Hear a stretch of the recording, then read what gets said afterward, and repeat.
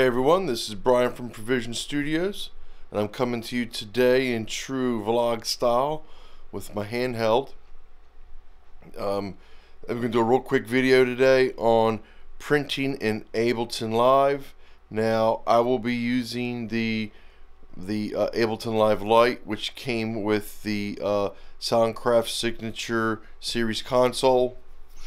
Um, I don't know how much different it is than the uh, the full featured Ableton Live.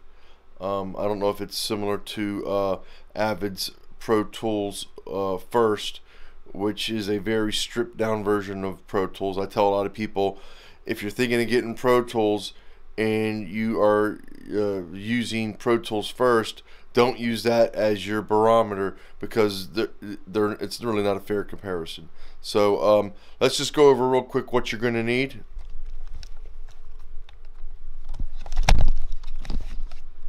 Obviously, you're going to need a Soundcraft console. You're going to need a computer, duh. Uh, I highly recommend a uh, a monitor controller. So I go out, left and right master out of my Soundcraft console into the monitor controller and then out left and right to my monitors. And then this is the volume control, even a mute button. I can turn my speakers on and off or the level that goes to the monitors. And this is a passive mo uh, monitor controller, so it doesn't affect the tone or the quality of the audio that goes into the monitors. All right, let's go dive in and uh, see if we can show how to make a print track uh, inside of Ableton. So this is going to be a piggyback off of my previous um, how to how to use Ableton Live uh, on the Signature 22 console series. Uh, you know, Signature 22 series consoles. All right, here we go. All right, so here we are inside of Ableton Live. What we're going to do right now is we are going to drag a uh, audio clip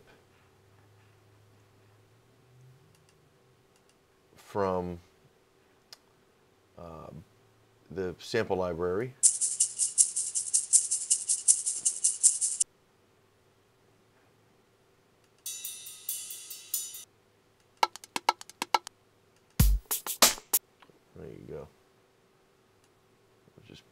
There.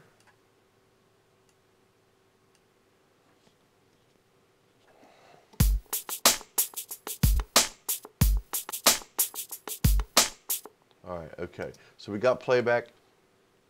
We are going to go to our configure and then output configure. We want to make sure that uh, 21 and 22 is selected. Um, in this version of Ableton Live Lite, you, you can only have four input and output channels selected. Um, that's the limitation of the software. That's fine for our purposes today. That's more than enough. So 21 and 22 is um, your output channel back into the board. We also would like 1 and 2 selected. Then our input, you're going to want to make sure, and again, this is limited to 4, you want to make sure that 23 and 24 is highlighted. And how you do it is you just click on them. When they're yellow, that means they're active. This is your print return back into the DAW. So this is important. This is the, the feature of the board uh, that allows you to print. So you want these two tracks selected. Click OK.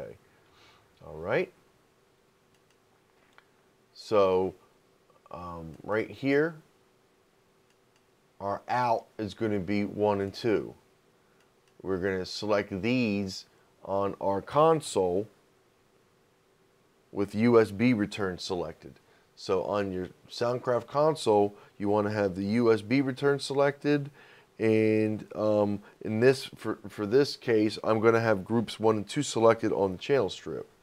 So right now I'm going to turn on my video camera and record that real quick so you guys can see what I'm talking about.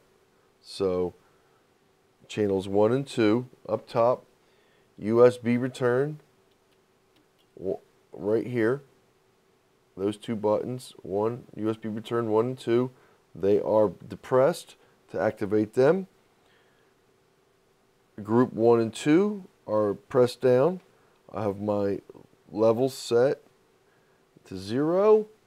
I have groups one and two. I have their volume set to zero with master. So this is running back into the into the master output right here. And then let's go back into the software.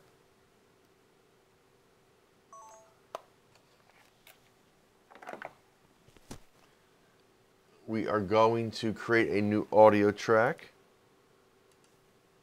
And this is going to be our print track. So again, we are going out from our audio track to channel one and two.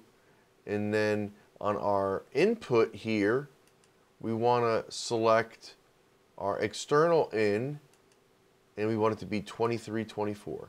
Again, this is the return into the console from whatever mixing you're doing on the console.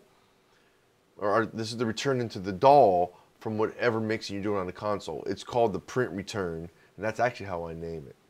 Um, I'm going to turn the level off so that we don't create a, a, a cycle, an audio cycle.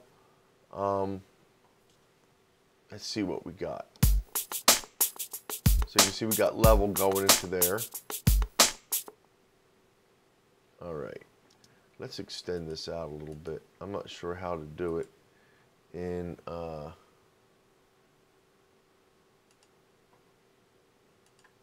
inside of Ableton Live. Duplicate. So Apple D.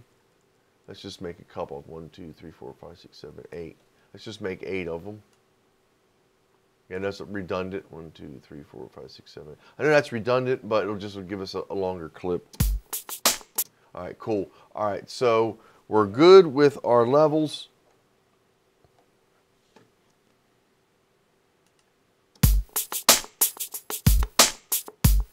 We can see right here that we are a little bit lower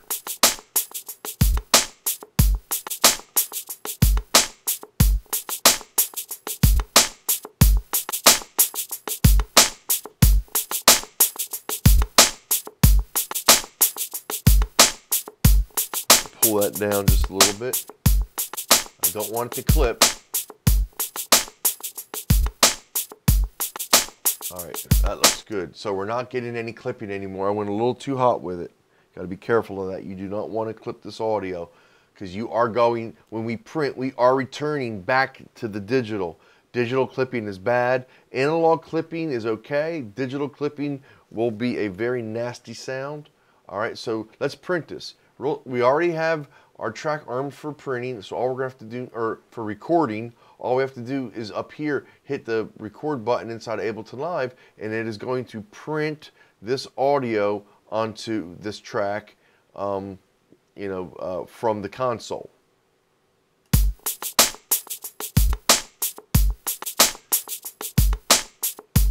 And I'm going to move the fader so you can see we actually are printing from the console. I just turned the level down. I'm going to turn the level up on just one channel.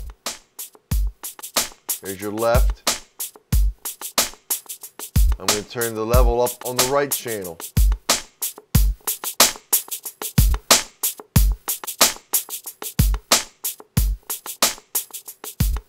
So you can see we have true console control over this print track we can actually record in console automation, whether it's uh, effects, panning, uh, level of fades, um, EQing. If you want to do start out with a a, a wide, a, like a cut, and then do a boost on certain sections of the song, you can automate all that in via this print track through, uh, through you know, uh, what you're doing on the console. So.